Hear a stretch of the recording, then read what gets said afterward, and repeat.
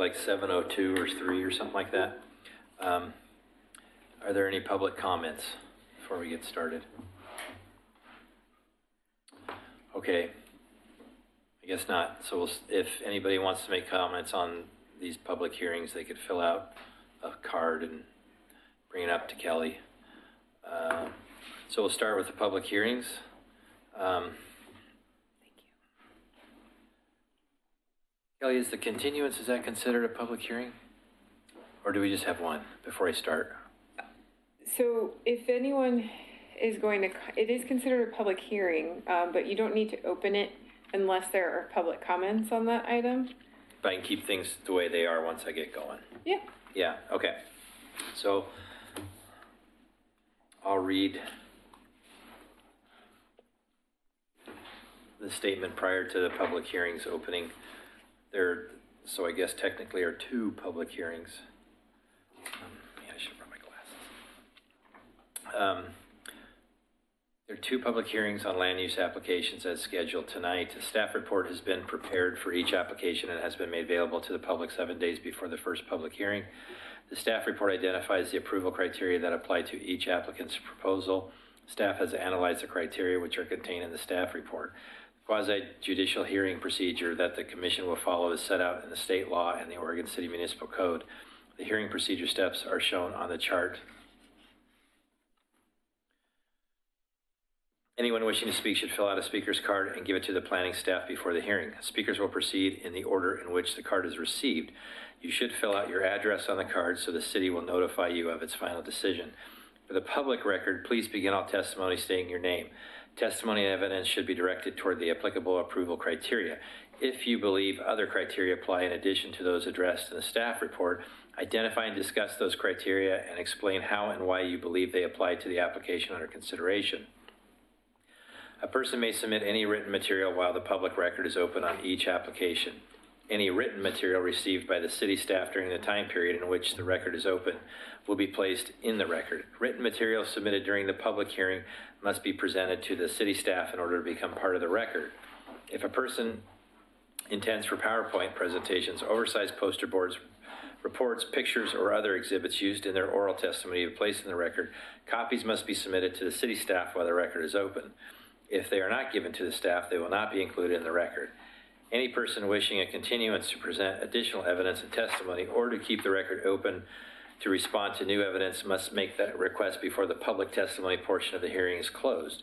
If the Historic Review Board makes a decision with which you would disagree, any issue that you may wish to appeal must have been raised for the consideration of the City Commission or LUBA or both without raising the issue on the record with sufficient specificity and accompanied by statements or evidence and that the city and all parties can respond, the issue will not be deemed appealable to the State Land Use Board of Appeals. In addition, the failure of an applicant to raise constitutional or other issues relating to proposed conditions of approval with sufficient specificity to allow the local government or its designee to respond to the issue precludes an action for damages in circuit court.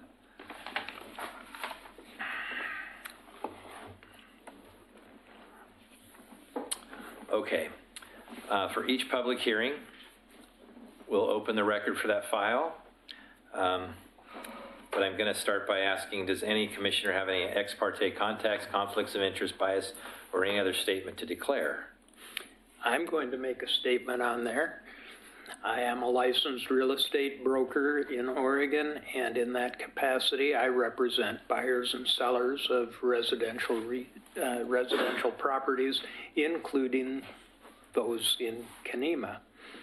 In this particular piece of property, my wife and I did represent the seller at the time the applicant purchased it that I do not see as a conflict of interest because there was no contact with the buyer in regards to uh, buildability or design.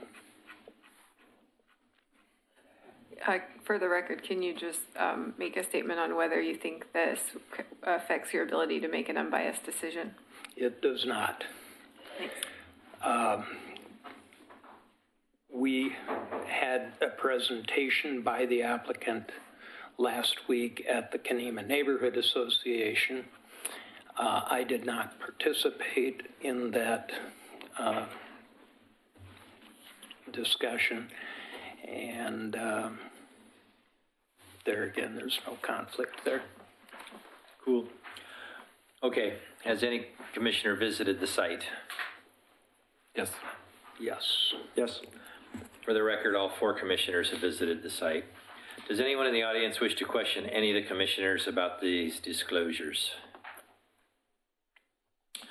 All right, well, regarding um, PC 19-094 and HR 19-00005, historic review for a new construction in the Canemah National Register District on Fourth Avenue, I can turn it over to staff. Um, But I will state before that, um, there will be public testimony. There'll be 15 minutes for the applicant, five minutes for representatives of a recognized neighborhood association, government agency, or other incorporated public interest organization, three minutes for individuals, five minutes for applicant's rebuttal, and we'll hold to that. Um, So, anyway, go ahead. Thanks, Chair McLaughlin. Uh, Before I start, I just want to make sure that you all received um, the public comment that was submitted on Friday uh, from the Canemah Neighborhood Association. I emailed that to you all, and I have a hard copy if anyone needs to look at that, or if any member of the public would like to look at that. Um, We have a hard copy up here. Um, And I have some correspondence also to add to the record from the um, applicant uh, regarding um, dimensions and heights of neighboring structures and retaining walls proposed. Um, I will talk about this in my staff report, um, but I'll also pass these two pages to you. um, And I'll clarify the information in it during my report.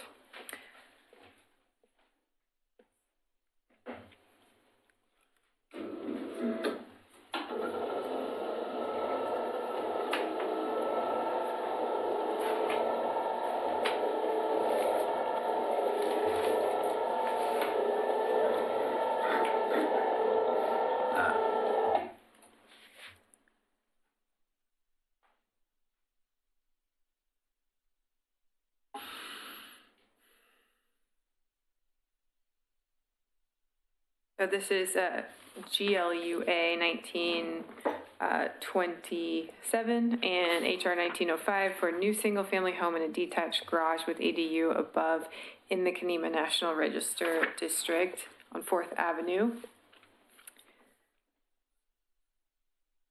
Trying to get our light settings changed, but I'm not sure if For mood lighting. there we go. Uh, So the uh, property is a 5,000 square foot lot that is located next to uh, 702 Fourth Avenue um, and between Blanchard Street and Apperson, uh, unimproved Apperson Street. The, um, the site slopes up from Fourth Avenue uh, and then is relatively flat before sloping up again um, to the uh, property behind it. Um, the house at 702 Fourth is an existing his, uh, contributing historic structure in the district. Um, the lot behind this uh, property was recently approved for a new um, two-story or one and a half story um, bungalow design home with a detached garage and ADU. And so once you get up the slope from Fourth Avenue, this is what the site looks like. Um, and then you can see on the right there is another new, um, new construction in Canemah, or relatively new in the past few years. And then um, if you're standing on Fourth uh, and looking up, you can kind of see a set of old um, stairs going up to the property. Uh, and then if you're standing at the top of those stairs, you can see some trees um, in front of the property as well. And then looking at the historic home, um, you see the side of that. And then looking the opposite direction, um, there are a few trees clustered in the front corner of the property. So uh, there was a shed on the property until 2000, uh, December 2018, when it was removed. Um, The applicant didn't request demolition approval of the shed um, from the HRB, which is technically required for all structures in the historic district, even if they are in this condition um, and not a primary dwelling. Um, And so I've got recommended a condition of approval to apply for historic review of the demolition and then obtain any required building permits if they would have been required, which I think they would have been. Uh, It's about a 600 square foot um, shed. Uh, So again, the uh, nearby homes include the A.E. Davis House, uh, which is in the upper left-hand, um, it's right next to the property.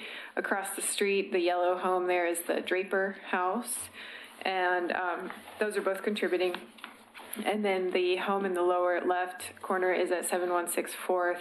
Um, It's a minimal traditional house. It's out of period for the district, uh, so it's not considered to be contributing.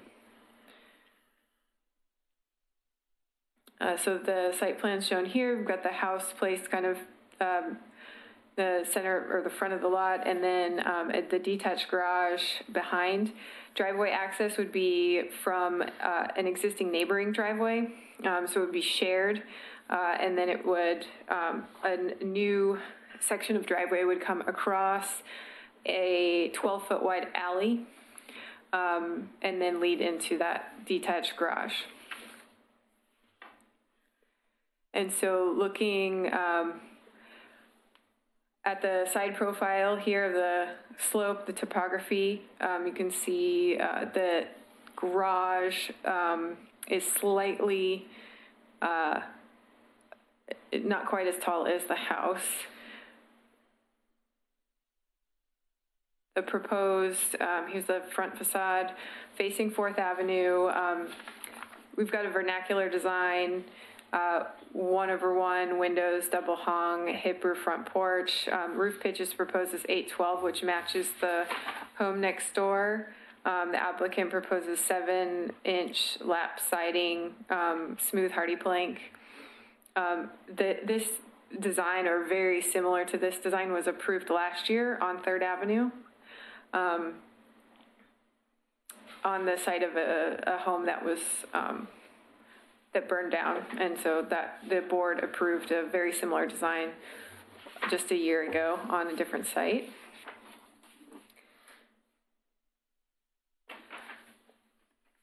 Uh, Side and rear elevations here.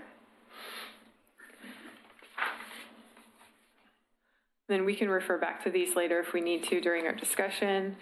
Um, This is a one and a half, it appears to be one and a half stories. We've got the eave kind of uh, in the second story window area. Um, And so that's kind of what I'm looking at when I'm looking at um, how, what what to consider the house as far as number of stories. So the eave kind of lines up within the window area and not above the windows. So that's kind of what I'm looking at. Although if you do look at um, the interior plan, you know, you've got uh, almost a full height wall here. Um, So here are the floor plans. And then the detached garage um, with ADU on top. And so because of the elevation change, the back side of that is um, kind of partially buried. Uh, And there is a retaining wall proposed along the back um, that would, you know, be kind of part of the building here and then extend out um, on the other, uh, where the kind of asphalt is, or the concrete here. Um, So a couple items, quick items to get through. Uh, Along with the shed removal, there were a few trees um, removed last year. Um, You can see the stumps in these photos. Um, I have a condition of approval to replace the trees in order to pres- preserve tree canopy. Um, So even though these were larger trees, the condition of approval is to replace with a two-inch caliper tree. Um, but a, a large size species, so Doug fir, big leaf maple, um, western red cedar, you know, something large. Um, I'm, in the staff report and the condition, um, I only mentioned one, uh, tree removed. Um, and then since then I realized there were two. So I'd like to recommend now that we modify the condition to be two trees instead of one. Um, then we've got a retaining wall, uh, in the back along the garage that we just talked about. Um, this, a portion of the wall is proposed as seven feet. Uh, Now, HRB policies, um, and generally, uh, what, what- we would allow is six feet um, tall maximum behind, behind the front of a house. Um, Seven feet is, if, for retaining wall, seven feet is allowed um, in our normal code. Um, And then in the design guidelines, um, the, the actual guideline reads, minimize the height and presence of walls. Uh, So this is in the very back of the site. Um, So I think the presence of this wall is minimized. Um, And so it's up to the board to determine whether you think the, the height is okay in this instance. Um, There is no prohibition on walls over seven feet. So you're okay to approve this if you think it's compatible and it meets the. Can Do you have a question? Yeah, on his email that he sent, he says most Mm-hmm. of the wall's at five feet, that the last part of it goes to seven, but they could slope it to five. Yeah, so. That's well under the seven feet. So- Yeah, so that, uh, it sounds like that might be an Based on option this. as well. Um, and so I think maybe that's something that we can ask the applicant to discuss in their presentation, um, cause I'm, I, you know, I'm not quite sure Gotcha. as far as the engineering, if that's possible. I mean, it sounds like it is according to the applicant, but Ask. um, that's something to discuss. Um, so the main issue uh, with this, I think, so the, in general, the vernacular design is compatible, it's appropriate. Um, I didn't find any issues with, any major issues with the proportions and design of the house. Um, I think the, the only issue here is uh, the fact that it's right next to this historic vernacular that's very similar looking um, and smaller than um, the proposed house. So, in looking at kind of what what the impact of this new house would be on the his smaller historic home, um, I looked at the height, um, the width, and then how close to the street each house is, um, and then how far apart they are. So um, you can see here, um, I labeled the topography, um, the grade, and so there's going to be a little bit of grading done on this portion of the site, but for the most part, the the um, base elevation of both structures is going to be almost the same. Um, so they're not one's not going to be sitting a whole lot higher than the other. They're going to be at, built at almost the same um, elevation. Um, the new home is proposed about six feet closer to the street than the historic home. Um, and then the width of the new house is 25 feet, the historic home is 20 feet. Uh, the height of the new home is proposed to be 32 feet versus approximately 28 feet for this house. Now, the staff report says 25 feet, and then I had lots of discussions with the um, applicant uh, and our building department staff um, about, you know, how tall this house is. It's, there's you know, we're kind of just eyeballing it. Um, the applicant actually had a laser measurer that we, um, I actually went out with the applicant's contractor um, to see the measurement happen with the laser measurer. So what we determined is that um, this house is probably around 28 feet is our best guess. So um, I want to make sure that the final staff report reflects that 20, it's about 28 feet and not 25, which is what I had written originally. Um, so it's about 14% taller. You're saying the existing house is 20? 'Cause this- Existing house. This shows it at 29. So yes, so there's that, but the roof pitch we think is actually 812, Oh, which brings that down a little bit. Got you. So we after that measurement happened, then we went out again and looked at it again and decided it was about 28 feet. So, um, and then there's a, uh, approximately 18 feet proposed between the two structures here. So um, I think that spacing, 18 feet between the two is, uh, that's ample spacing, yes? I've noticed discrepancy between some of the maps and aerials regarding the uh, property line. The Right. picture shows it here going right through the Davis house. Yes, and that's not correct. So Okay.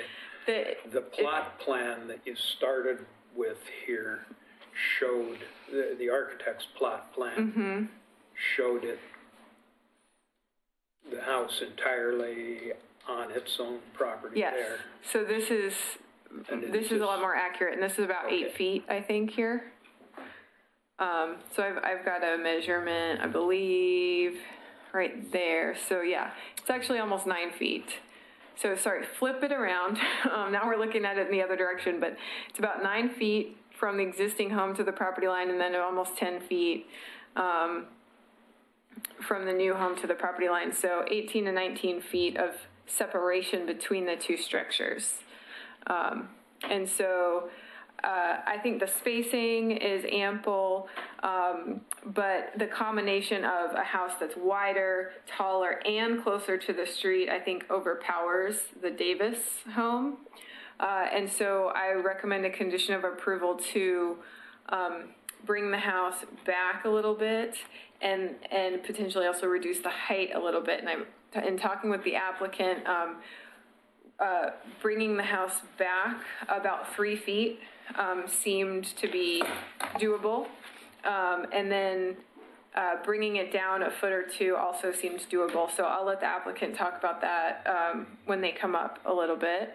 Um, and then if so, if you do move it back three feet, um, you reduce the spacing in between the house and the garage. But right now there's about 11 feet there, and so you you there's room to move it back.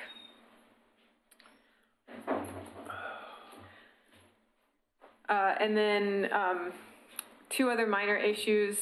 Uh, one, composite decking is uh, proposed on the front porch.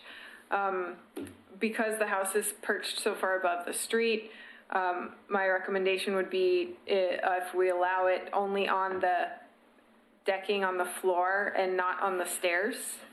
Um, and that it be um, the color chosen or the hue or shade chosen for the composite decking match um, one of the colors on the house, the trim or the body. Um, and then uh, there is vertical siding um, proposed underneath the porch.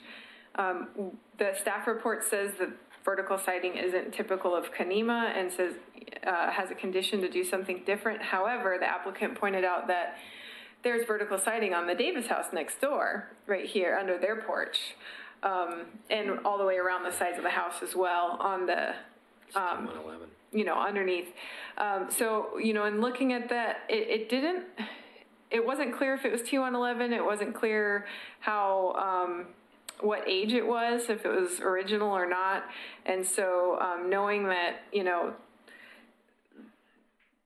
that exists. It's probably not original. Um, you know, I am kind of looking for direction from the board on to what as to whether the proposed vertical siding on the new home is appropriate or not.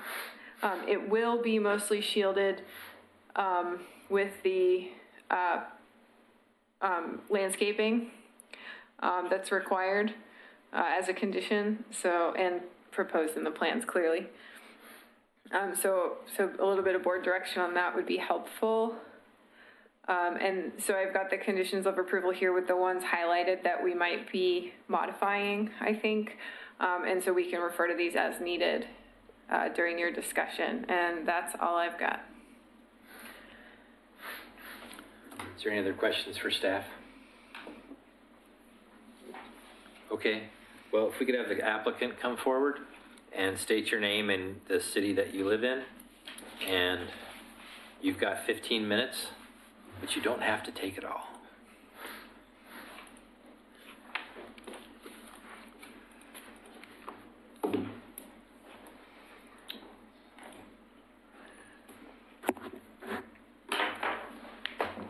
Chair McLaughlin, hi Kelly. Uh, my name is Mark Beerwagon. I'm a general contractor. I built the house next door for Mr. Beislein, the applicant. I live in Happy Valley, Oregon. Um, I wanted to, uh, first of all, address the shed. Um, Mr. Beislein had removed the shed, and uh, I'm sure he's talked to staff about the, the shed, but I wanted to share some of the comments that, that he made to me. Um, The concern was the structural integrity, as you could see from the pictures, it was kind of fallen down. And uh, Mr. Beislein lives in uh, the house, and the house below is where his grandchildren live. So there was concern about the, uh, the the shed as well as rusty nails. It was full of junk and rats' nests and um, uh, some other hazards, and he just felt it was im- important to take it out. And uh, I'd be happy to comply with uh, whatever the board thinks is appropriate to, um, as a condition. Um, Also wanted to note that the, the stairs that go up the front were apparently actually installed within the last year, although they look old. They're, they're stackable blocks and have been recently installed before, right before he purchased the property. Um, The intention, and I discussed this with staff when I was on site, the intention is to bring the grade up at the front to match the adjacent grade. Um, is it, it's the Davis House right next door. Matching that grade would bring the front grade up about two feet, reducing two to three steps. Also, um, more of that it would shield more of that skirting, less of that would be visible. Also, kind of reducing that uh, difference in height that currently exists at 14%. Um, I did look at, I did note the design guidelines, and I think it it uh, talks about 20%, being if it's within 20%, then it um, it's an approvable amount in terms of difference. Is that correct? Yeah. Yeah. Um, Also wanted to note that there was, uh, Mr. Beislein only removed one tree. There was actually, when he, the, the, he has pictures from when they originally purchased uh, the property next door, um, uh, photos of four years ago, and the, the stump, the second stump was a stump at that time, so it's, it was removed some time ago, so we would um, want to just uh, mitigate with uh, one tree planting. We can provide those photos if needed.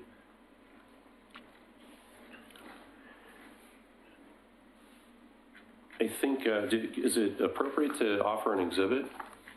Sure. Okay. Um, These are, this is a, one of the exhibits, this is just the photo of the, photos of the, do I hand them up there or hand to you? Here's another.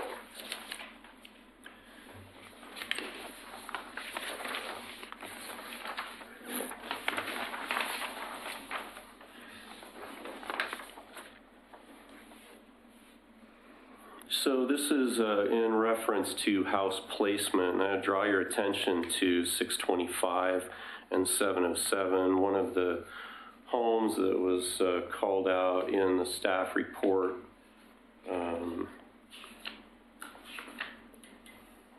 was the the Draper House right across the street, and right next door to the Draper House, 625. I wanted to highlight the fact that there's there's quite a bit of difference. be- And 625 is a newer home that uh, was I don't know when it was approved. 2016? 2016, and there's about 15 feet of difference in the front of those two houses. Um, and you can you also notice that the detached garage is much closer to 707 than the 18 feet that we're uh, proposing. So our, our hope is to not, not lower the house and not move the house back. It would impact the livability of the site in the back as the, the back porch and the garage uh, come together. Um, Reducing that down would, would uh, just um, provide much less living space in the back, and that's the only yard space that uh, this home is going to be a home for a young family. Actually, the uh, Mr. Beislein's uh, daughter and son-in-law and grandchildren who live in uh, currently in 716 will be moving into this house, and so um, yard space for the kids is important, and uh, having that separation between the detached garage and the house is uh, is important. We're not really in a position to move the garage back. Uh, we're really constrained by the uh, uh, site conditions. We've kind of pushed the maximum according to our geotech, our structural, and our civil engineers. Um,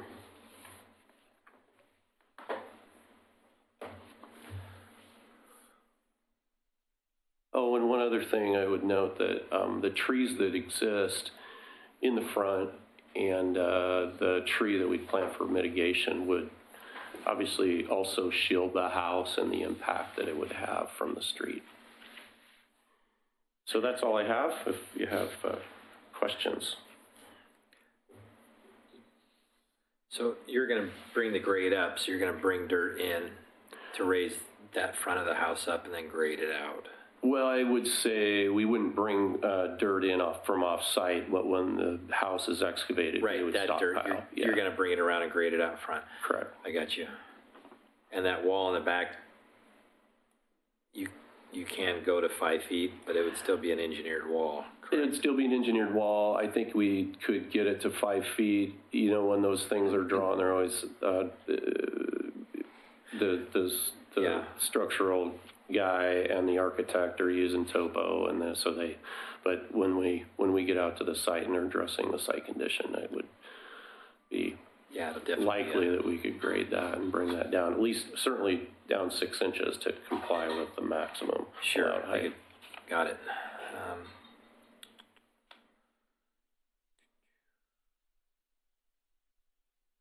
Does anybody have any questions?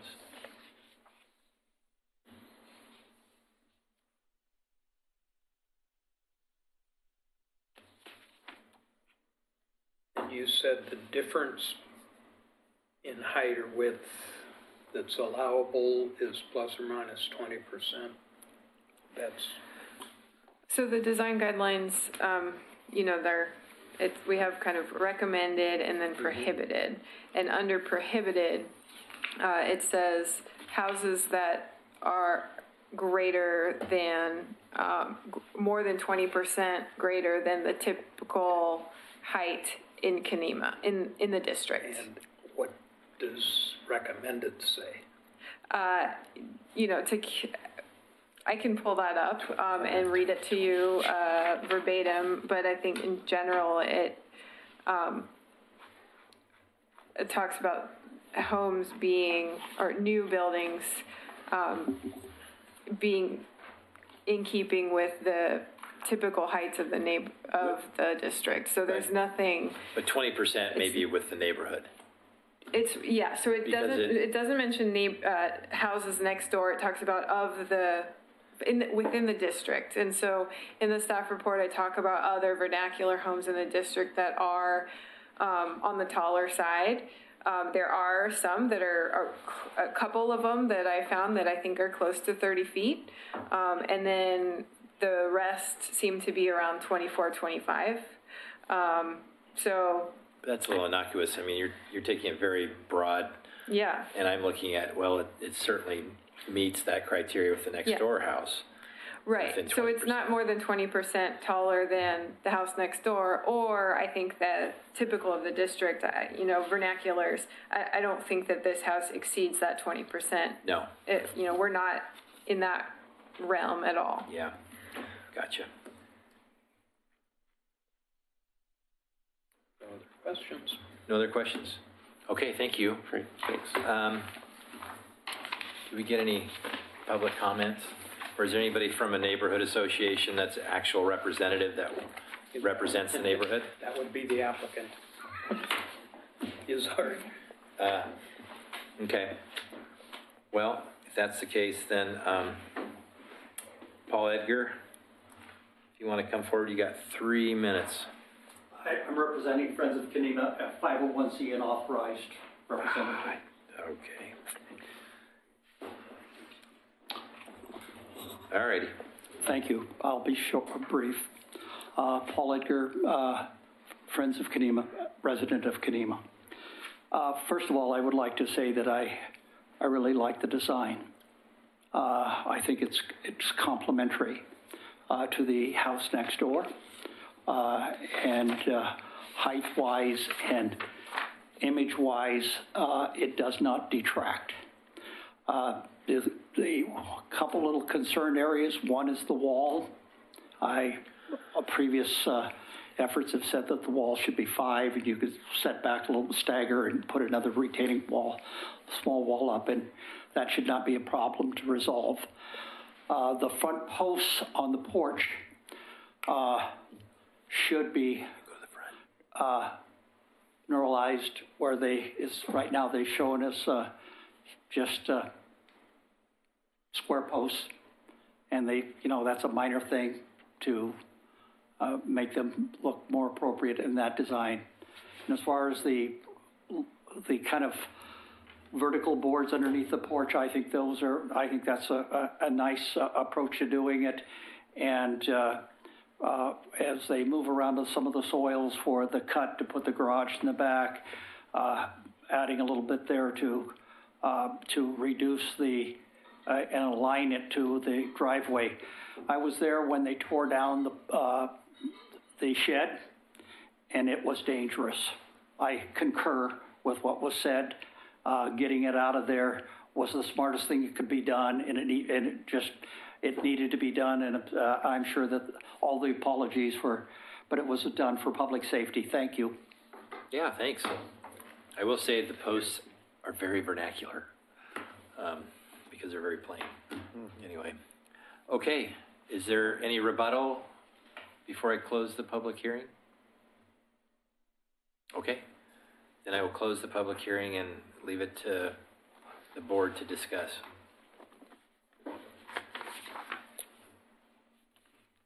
Kelly, do you have a photo of the Davis house that would show what the uh, front porch columns there look like?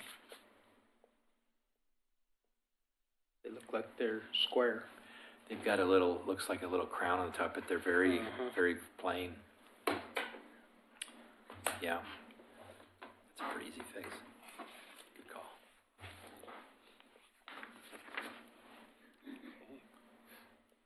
Anybody else?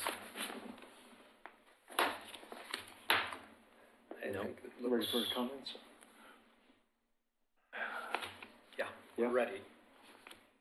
Um, Okay. I, uh,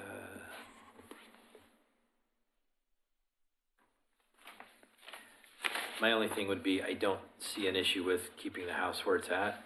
I think if it was to be pushed back, it would, um, only take away from the proportion aesthetic of the layout of the site. Um, and so anyway, that's all I gotta say. So, somebody wants to make a motion? I guess. Oh, I've got, yeah, I got a couple of comments. So, Well, I was asking for that. okay, well, I was waiting for you to finish. Oh, for the heck. chair to finish. Nah, Um, I think I agree with you on the siting of the house. Uh,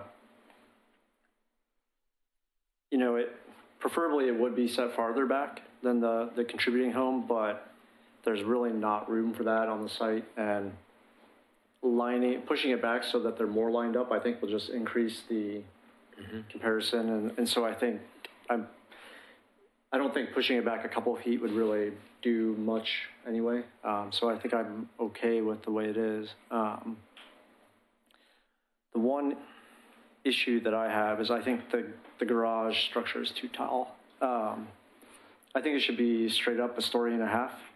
Um, it looks like there are, you know, it's using manufactured trusses, which is adding height without adding interior height. Um, maybe, I don't know, you can comment on that better than I can, but uh, I think that could be brought down quite a bit. Is there a, um, is there a different elevation or besides that one? Uh, yeah, Um, they used in the uh, the narrative submission. They used the example of the house on Third Avenue. Um, it's on page. If I find it here. Uh, where'd that go? Right here, yeah. uh, which is a similar size house, and the garage is much more complementary by being a true one and a half story, not a, it's, a- you know, this garage is almost a full two story. The garage there was built to be compatible with The other a house. different design Yeah, for the house that burnt to the ground. Yeah, and they kept it. So, Yeah, they saved the garage, that's all they saved. yeah, Yeah, it yeah. was existing, but I see what you're saying. Um, y- yeah, th- I mean, uh, depends on the perspective you're looking at. The tallest part of this house is really facing the back of the house. The, where the cars go in, it's, it is very tall. Um, it's a a twelve. it's fuzzy, but everything's fuzzy. Um, so you're saying that could be a story and a half. That the pony walls could be brought down. Everything's vaulted, I believe, inside the Yeah. the ADU. Um, on page nine, I think it, uh, of the staff report, particularly on that elevation that shows both, you know, it feels awkward to me. Uh, is there can can you is there a section of the garage This one? section drawing?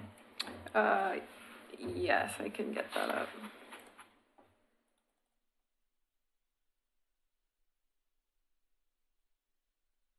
Seemed like there was one for the the garage. Um, come on, there's got to be. Oh, It's, uh, the very last page. last page. of the- There it is. All right. So it looks like. Oh, thanks. Hallelujah. um,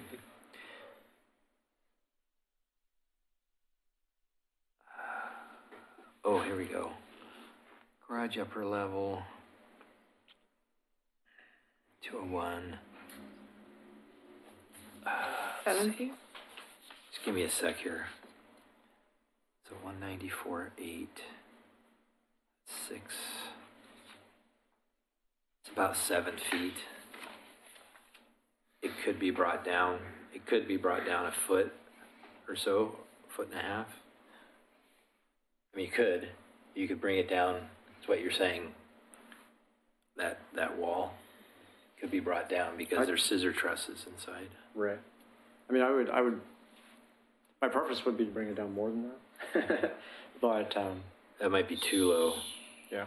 So would you be talking about uh, replacing the uh, trusses with stick framing? I mean, I, that's what I would do in this situation, but Um,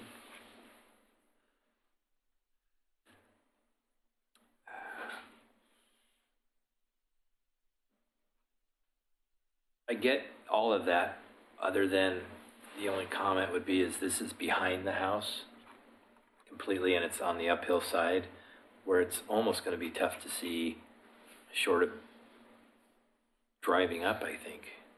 But I know what you're saying. I mean, we, It's taller, but it's also completely subjugated. yeah, we do, well, we do have, you know, there's a proposed home right behind it as well. Yeah. And things, it's not, you know, it, it won't be hidden from Right.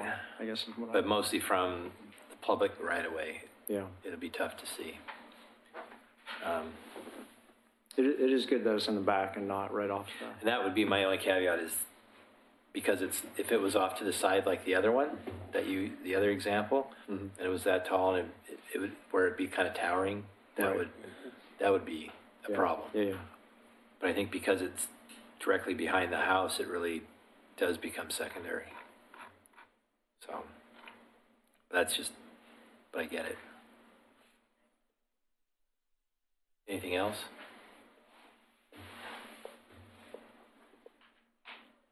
Grant? Um, Just the uh, retaining wall, I agree with the comments that it, it should be brought down to five feet preferably. Yeah, it would have to be a cantilever engineered footing and wall, but I think it would be better to keep it lower, for sure. So we could definitely make that as a, a condition.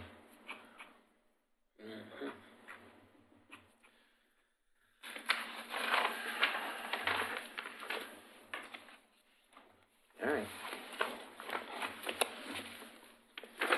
Well, let's, uh, I want to take a shot at a motion here, since we seem to have said all that we want to say. Yeah. Uh, and that is to approve the design. Can you speak up? Uh, I'm, I'm fumbling for words here. Uh, I want to make a motion to approve the design as submitted, subject to the uh, conditions of approval stated by staff, plus the additional condition that the uh, retaining wall behind the garage be maintained at a height of five feet rather than going up to seven. Um, can I ask a question on that motion that You may. Uh, staff was recommending moving the house, but are we in agreement that we can leave the house on the site plan as proposed? Yeah, that, that is part and parcel of, of my motion. As, as well as the garage height. uh, Yeah, I got you. I'll second that. That work? So you'd add a condition to reduce the height of the retaining wall to five feet and add a condition to reduce the height of the, um, garage? No, No, No. no, not Okay. that one. Not that one. Just, just the, the five-foot retaining wall. Okay, and so, and remove condition number three that says the house setback should increase along with the height decreasing? Yeah, get rid of that. Yes,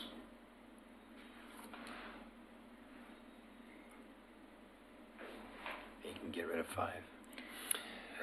Uh, Um, we didn't talk about five, but, uh, I will, I will amend the, uh, motion to delete condition of approval number five as well. Um, can I get a clarification regarding condition six? Um, would the board like to limit the use of composite decking to the, just the decking and not the stairs? Or just leave that open?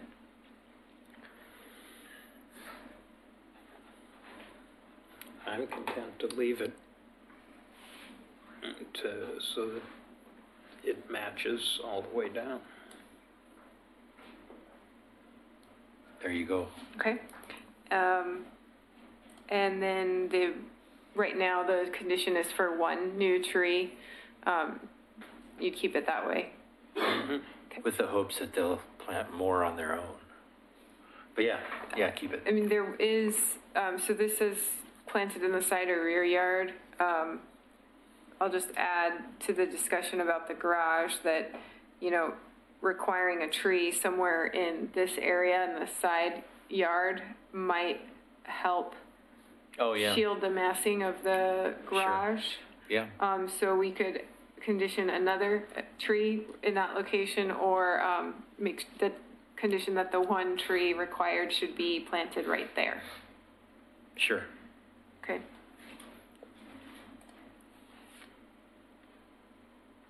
So we'll just clarify the location of that.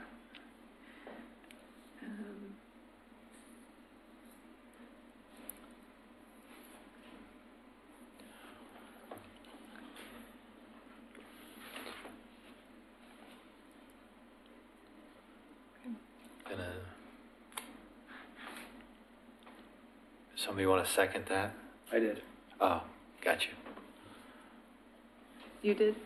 Okay, thanks. All right, uh, Board Member Blythe, Yay. Board Member Stobie, Yay. Board Member Basinger, Aye. and Chair McLaughlin. Aye. Thank you. Okay, our next item is uh, PC 19-096, continuance GLUA 19-29, and the HR 19-4 historic review for new construction in the Canemah National Register District at 306 Fourth Avenue.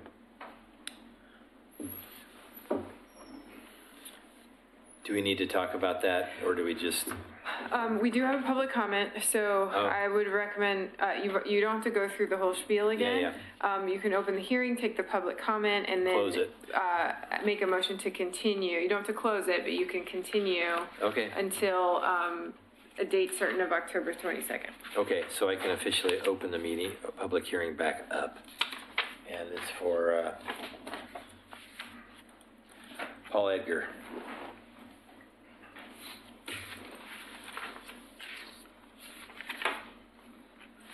What can I, do you have a lot to do, Paul? Or should I limit your time? I am again with uh, Fort Kennedy, or not Fort Kennedy, excuse me. No, That's my Friends. nonprofit, uh, uh, with uh, Friends of Canemah. Okay, Again, I would, uh, there are no bungalow houses around this property that are contributing structures and none of the bulk and size that is being proposed. There are no uh, Canemah uh, bungalows that even co- uh, come close to this bulk and size. So this is probably twice the size of any bungalow in Canemah of historic nature. So it, there may be something, we should get a list of them if, uh, and I would like to have that uh, as part of the continuance on this hearing is to bring back so we can actually uh, take a look, have a picture of every bungalow in Canemah and take a look at how they compare in, in bulk and size. I think that's an appropriate way to validate the statement that I'm making about it being inappropriate. so you're willing to do that? Uh, I will, uh, yeah, I could do that if, uh, with the help of uh, our esteemed Kelly here, we'll identify them and make sure that we're, we're talking, uh, everything is uh, correct. Um, A house, this house with a garage underneath it in a bungalow becomes basically a three-story house by all appearances, and there's not any way to mask it uh, it, it, the bungalows in Canemah have all been really one story and not even had a, loft or attic use. Maybe there is one or two. I'll find out. We'll find out and have that available at the next meeting. Uh, what is important here is that the is this height is really great, too great. And then I'd like to go back to now to the uh, to the uh, building guidelines that are part of uh, of what is states what is allowable and not allowable. And uh, uh, this, uh, well, I'm trying to find the one that I want to find. By the way, this naming, I we used to own the property, uh, and right right in the area where they the driveway comes up, it was a landslide. And so this area has, house has geologic hazards associated with it that are within 100 feet of the landslide. Uh,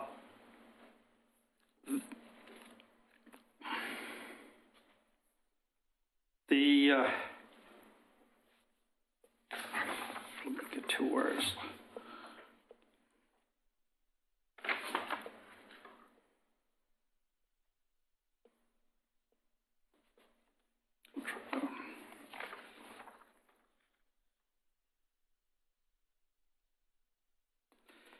The, uh, in, in building placement on, uh, I, I don't remember what page it is, and they get into an, uh, uh, uh, building uh, placement that is uncharacteristic to the block or the neighborhood, and this is to where it destroys the, the symmetry of the, even of the Canemah neighborhood. And, and this house in this location, my house is vernacular, the house across the street is vernacular, the house right up the street is vernacular, and the house uh, below it is a vernacular. And uh, that are contributing structures, and you can only compare them to contributing, contributing structures. Uh, A not allowed in building size is, says that a residential building that is more than 20% from the height of the historic neighborhood context, uh, buildings unless approved by the HRB. This is one of those things saying it is, well exceeds that because of the garage underneath. The residential, uh, building ground levels that are elevated, uh, less than 18 inches above ground are not allowed that are, unless they are topo, uh, topology considerations. Uh, Canemah uh, residential greater than one and a half stories in height plus a basement, but this case, the basement is all exposed. Give you a couple more seconds.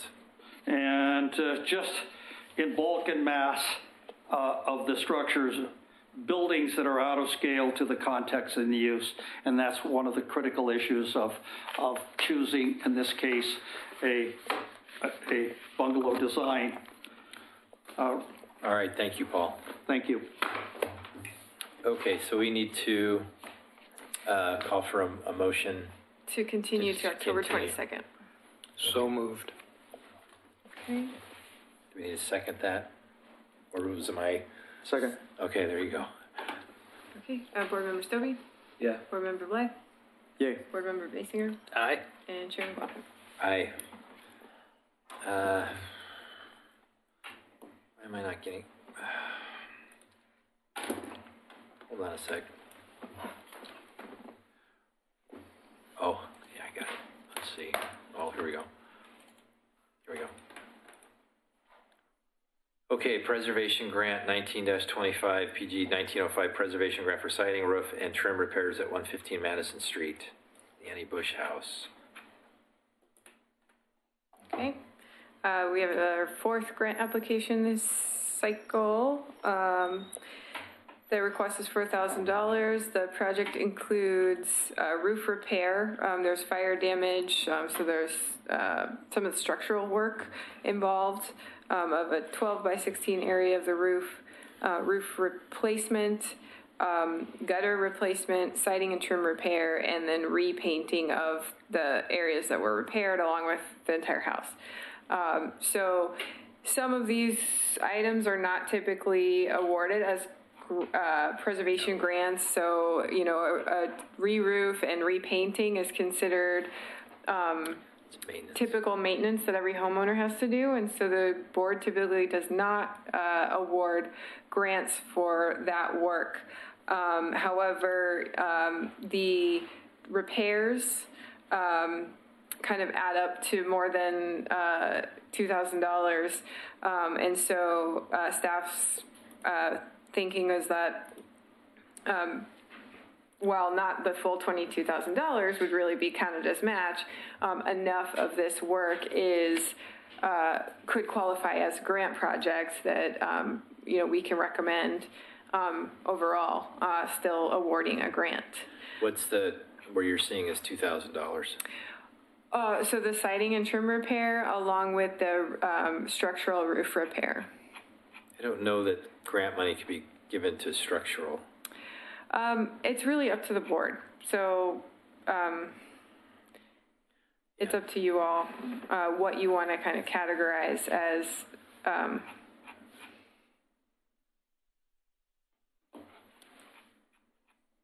what's appropriate. I don't look at maintenance issues or structural as part of a grant uh, request. That's how I look at it. Um, But As far as the fire damage, one would hope they had insurance to cover that. it's been that way for a while. Oh. I mean, you could tell that uh, there was a fire damage, and then they put the OSB on the roof. Oh, They bridged it, put a new roof on. Yeah, it's like been the that way. Straps on the Yeah. split Plumber's tape, rafters. uh, is what that is. Um, yeah, So the applicant's here and might be able to explain more about um, some of the repair work um, and if any of the painting work um, is related to that in some way. Um, I wasn't able to really break the costs down anymore, but um, maybe the applicant can. Sure. If they want to come up.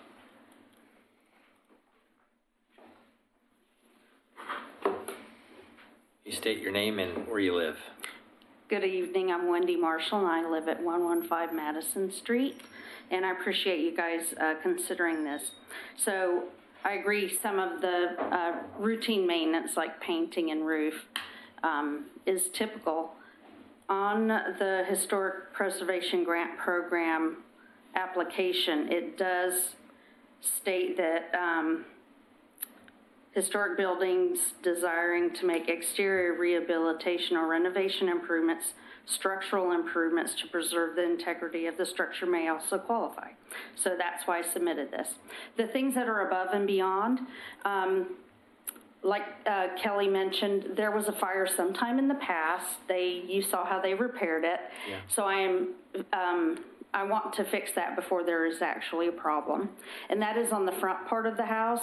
I don't know if you have an overall, but it's to the right, on the right-hand picture. It's over the very front, on the right, above the porch. Yeah, that piece. Oh, gotcha. Yeah. And then another thing that's not typical, so the whole house has got um, original channel drop siding, but that piece that's circled in black, that is some LP siding or something, and they're going to replace that with channel drop. Similar in appearance or, or as close as they can get, so that'll match the rest of the house. And the other one is in the left-hand photo. So they apparently had a door there, and when they put a slider on the back, actually that was on the inventory, so it was at least 2002. They slapped that siding right over it. They didn't align it horizontally or um, they didn't set it in the hole. And that's going to take a little bit more. We actually took off one of the boards to see what was under there, so we're going to have to, to do a little bit of work to get the boards to set in, and that will smooth that out. Um, on the front, I don't think I have it circled. I don't know if you have all the photos up there. Maybe, I'm not sure if I submitted it, but on the, if you go right there, in the middle, the water table on the bottom, that has been broken off, and that's another thing that'll be replaced. And um, just taking all the details like that and getting them back to where this uh, little house can, But you've got the heat pump line set right there, right? and you're. It was broken off before that was put there. Gotcha. And that part will be painted to match the house, the siding.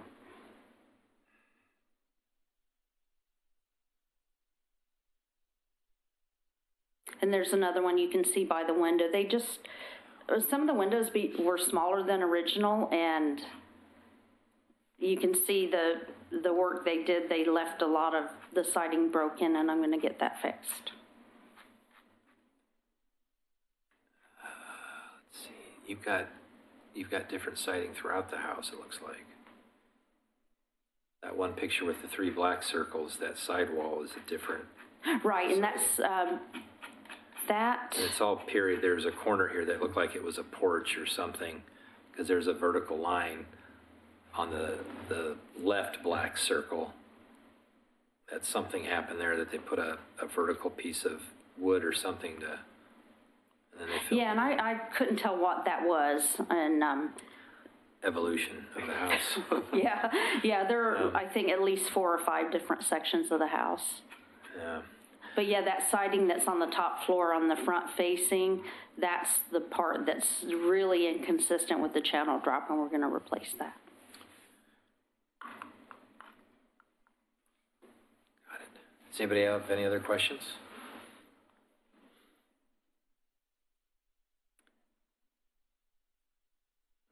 No? Thank you. Thank you. Okay.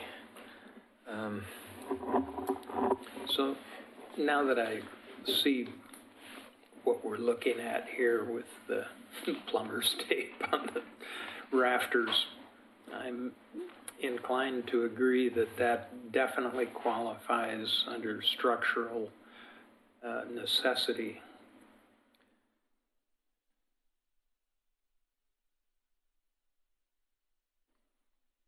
Yeah, it's interesting that that fire occurred. There's skip sheeting on one side, and it probably burned through the, the roof, and then they just put the OSB on and put a roof on it. That it may not have been an insurance thing. Um, I mean, they may not have had it. Right. Um, Yeah, I'm, I'm So they're asking- that that was done by a professional builder. No, I, no. Looks like an open junction box right there. Um,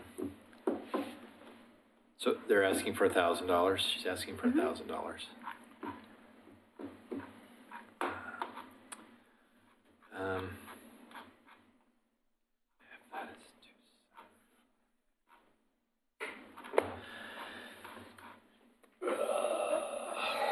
It's an ambitious product, project. The uh, end result, I hope, will justify all the work. Yeah, this thing's chock full of lead, that's for sure. Um, okay, somebody want to make a motion on, on It's your turn. Okay. This, this grant? Uh, I move to approve a grant of one thousand dollars for application, uh, nineteen five twenty-five PG nineteen oh five at one one five Madison Street. Is there a I'll second? second. Ah, there you go. All right. All right, Commissioner, or uh, Board Member Basinger, Aye. Board Member Stobie, Aye. Board Member Blythe, Aye. Chair McLaughlin. Aye. Okay. All right. Um, thank you. Uh, next item is, uh, nineteen oh nine five, letter of support for a technical assistance grant to update the comprehensive plan. Did everybody read that letter? I have a copy, hard copy here, if you're all willing to sign it. Um, you signed a similar letter a couple of months, or several months ago, um, for a different grant for the same project. So we're applying for two grants, uh, to combine, um, the funding to update our comp plan, comprehensive plan. Um, so this is for the second grant, and we're applying for about hundred thousand dollars from the Department of Land Conservation and Development. And, um, we're looking for, uh, letters of support from all of our boards and commissions. Groovy. I don't think you need a mo- motion. No, we just need to sign the thing. Okay, so we can all sign that on our way out. Um, anything else? Communications, anything like that?